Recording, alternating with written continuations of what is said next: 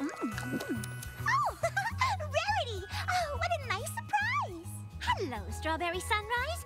This is Applejack. I was wondering if you could tell her how you feel about apples. Don't like them. What? Why? They're crunchy, they're sweet, they're delicious. They're not strawberries. Mm. You're right. Apples are better than strawberries. Only if by better you mean better at being disgusting. You'd better apologize. Oh, I'm sorry that you actually bite into those tasteless, mealy, worm-filled things. Oh. What? Applejack, why are you so angry? It's just Strawberry's honest opinion. What's wrong with that?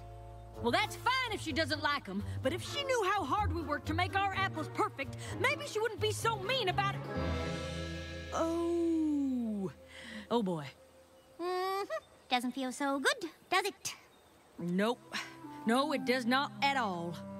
I am so sorry, Rarity. I got so carried away with being honest, I guess I didn't think about how I was making others feel. I'm a real rotten apple. I appreciate that, Applejack. That means a lot. I just wish you'd realize it before you ruined the fashion show.